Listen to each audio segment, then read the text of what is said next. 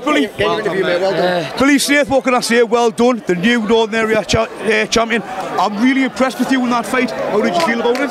Aye, I just want to like, I just want to apologise for some of my behaviour because uh, I just got heated up because uh, I've got that much passion. I'm not normally a dickhead like that. I'm not. But well done, Daniel Cope. It was a great fight. He was stronger than I thought, and I wasn't. I don't know. I got, I got dragged into a scrap. Sorry, I got dragged into a scrappy fight, but it doesn't matter. Like I say, I always find a way to win, whether I box good or not, because I'm a winner. It's in there. You boxed very well there. Um, I, in there. I was massively impressed with you, as were a lot of people.